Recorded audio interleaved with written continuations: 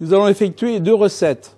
La première recette, une soupe avec des légumes bien frais qu'on va mettre dans la partie supérieure. La recette, cuisson, mixeur avec les Vomix, pasteurisation dans la partie inférieure.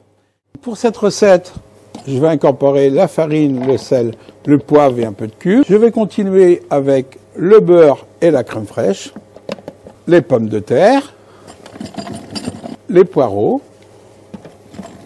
Et ensuite, je vais terminer par l'eau.